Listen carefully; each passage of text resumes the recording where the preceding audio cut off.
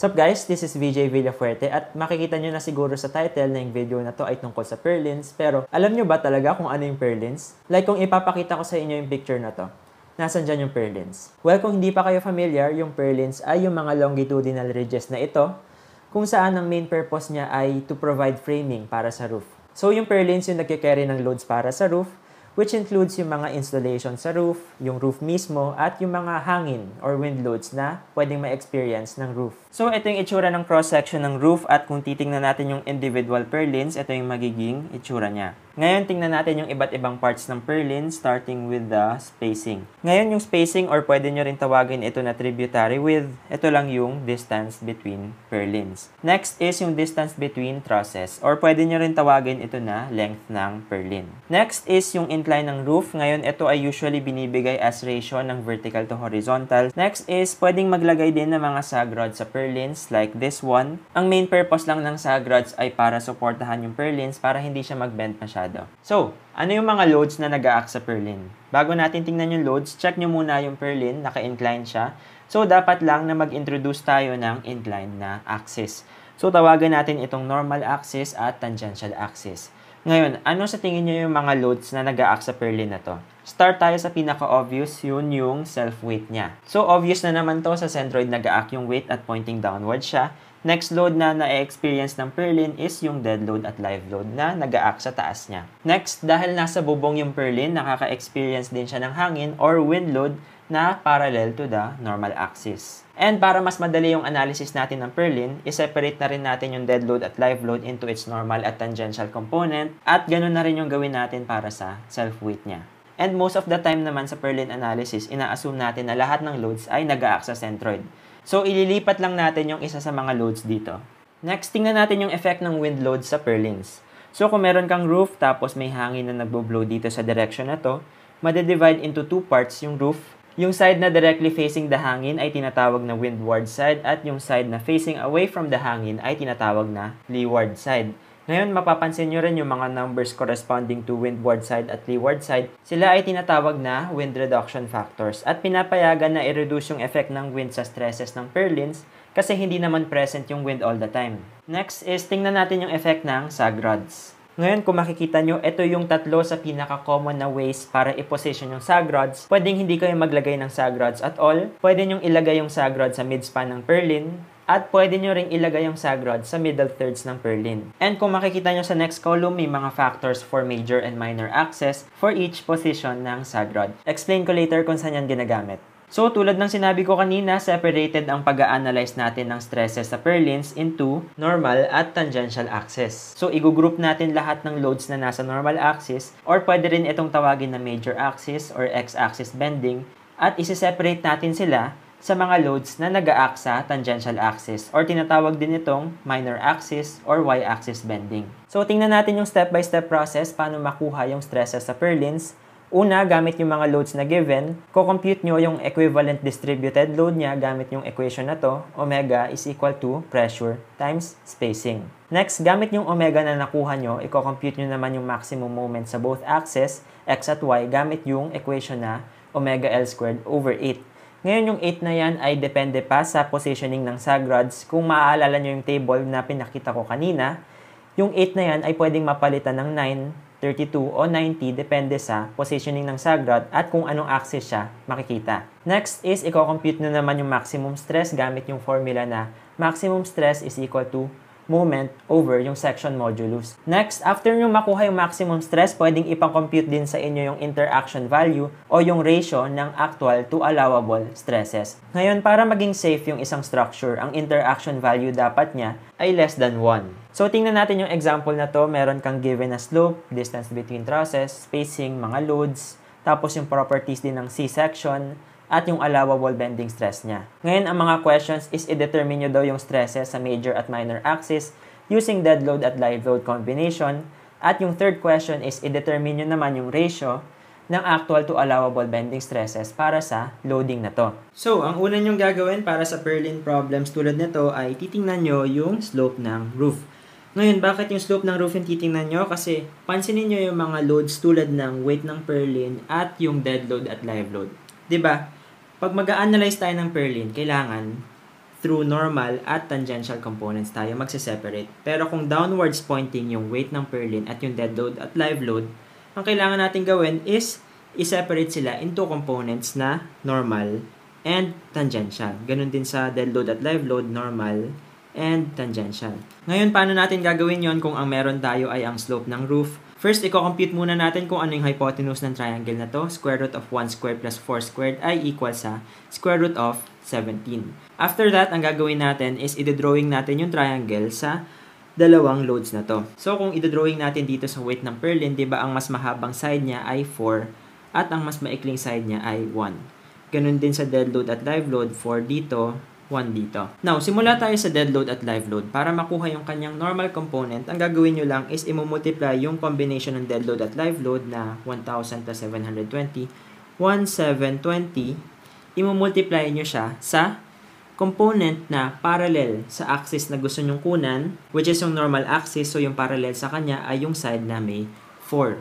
So, imumultiply nyo siya ng 4 over yung hypotenuse ng triangle na yon. So, 4 over square root of 17 na makukuha nyo as 1,668.64 pascals. Ganun din naman yung gagawin nyo para makuha yung tangential component. Imumultiply nyo nga lang siya sa component na parallel sa tangential axis which is 1. So, ang 1,720 ay imumultiply nyo sa 1 over square root of 17 or makukuha nyo ang 417.16 pascals. Ngayon, pansinin nyo ang dead load at live load ay naka-pascals pero yung self-weight ng beam na 79 ay in newtons per meter. So, kailangan pa natin tong i-convert into newtons per meter. Ang gagawin lang natin is gagamitin natin yung equation na to.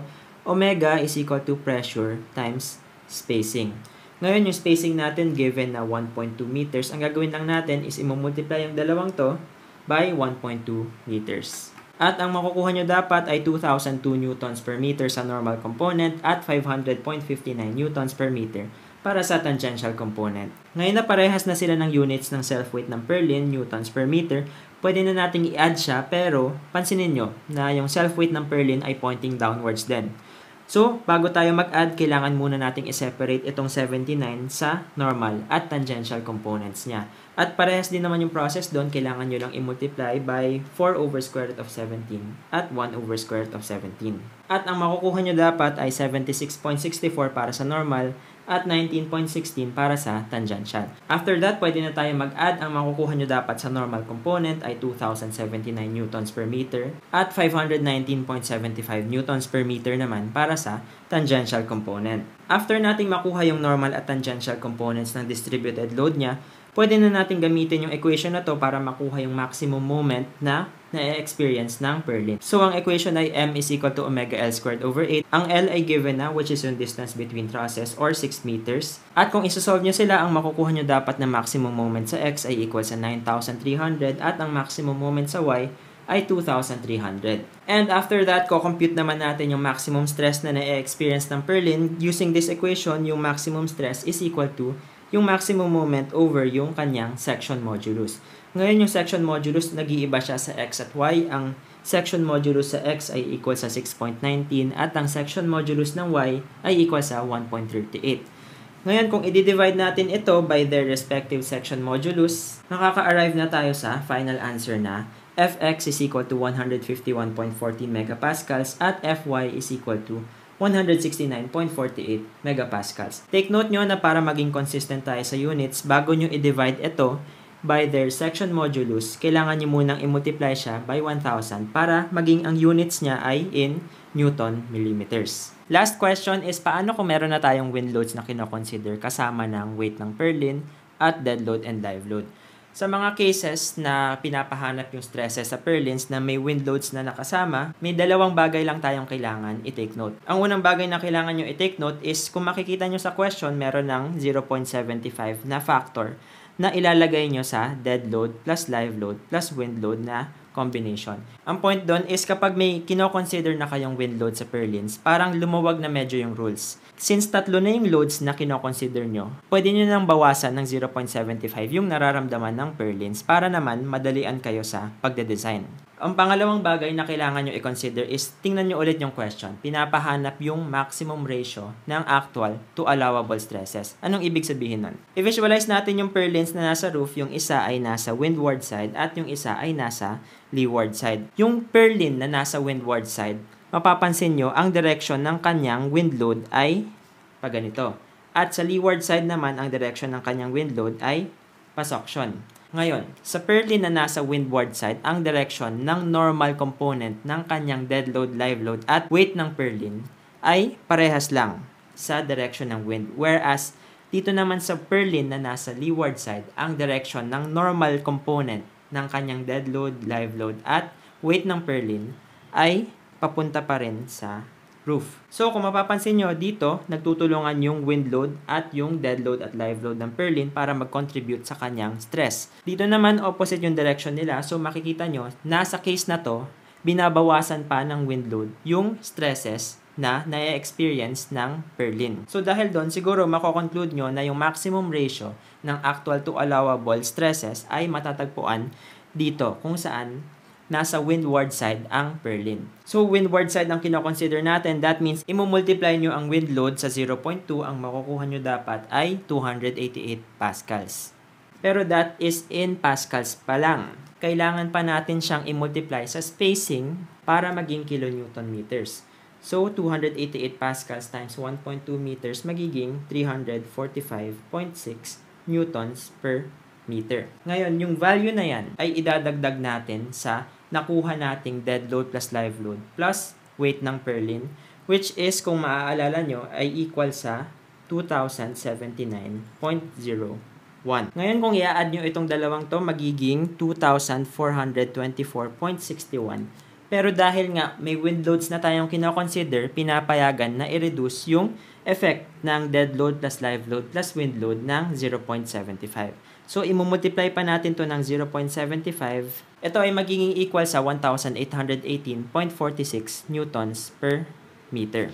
Now, after that, titingnan naman natin yung nasa tangential axis. Pansinin nyo na yung wind loads ay nag-a-affect lang sa normal axis. Sa tangential axis naman, walang component yung wind load. So, wala tayong idadagdag sa load na yon. So kung naalala nyo, ang distributed load natin sa tangential axis ay equal sa 519.75. Pero dahil nga may wind loads na tayong kinoconsider, applicable pa rin siya sa rule na to, kailangan pa rin natin siyang i-multiply by 0.75. Ang makukuha natin ay 389.81 newtons per meter. Lastly, parehas lang yung gagawin nating computation tulad ng kanina. Ang nagbago lang is yung distributed load sa normal axis meron ka ng 1818.46 at sa tangential axis meron ka ng 389. So, after nyo makakuha ng distributed load, di ba ang next step is gagawin nyo siyang maximum moment using the equation m is equal to omega L squared over 8. And i-check nyo na lang kung ito rin yung values na nakuha nyo. After natin makuha yung maximum moment, ang next step diba is kukunin naman natin yung maximum stress na nararamdaman ng Perlin gamit yung equation na maximum stress is equal to maximum moment all over the section modulus. And ito dapat yung makukuha yung values, ang stress sa X ay equal sa 132.2 megapascals at ang stress naman sa Y ay 127.11 megapascals. Ngayon, last step sa pagsosolve ng maximum ratio ng actual to allowable stress ay i-compare ito sa allowable stress na 207 megapascals. Gagamitin nyo yung formula ng interaction value na Fx over Fbx plus Fy over Fby is equal to 1. Or yung 1 kasi, yung safe value. Kung mas maliit siya sa 1, mas safe yung structure. So, try natin i-compute kung anong interaction value ng purlins na to under the given loads. Ang makukuha natin kapag plinug in natin lahat ng given ay magiging 1.25. Which means na hindi safe yung purlin kasi mas malaki yung kanyang actual stresses sa allowable stress. And that's it. Medyo matrabaho nga lang yung purlins kasi ang dami nyong kailangan i-consider at may dalawang axis kayong kailangan i-solve. Pero siguro after nyo makapractice pa ng ibang problem sa purlins, magiging madali na lang ito sa inyo. So kung natulungan kayo ng video na to, i-share nyo to sa Facebook at huwag nyo na rin kalimutan mag-subscribe para kayo yung makaabang sa future videos ko. Okay, thanks for watching.